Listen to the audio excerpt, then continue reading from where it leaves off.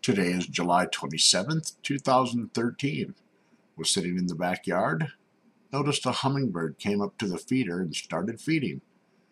A couple of seconds later, it came back.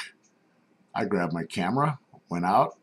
About 10 seconds later, it showed up, and I got this video. The video is right about a minute long. He was a thirsty little bugger. Look at him go. I wish I had a better camera to get better video, but you do what you can do. This is fourth or fifth different hummingbird that I've seen today. We've got several around the place, and they keep our feeders flowing. Hope you enjoyed the video.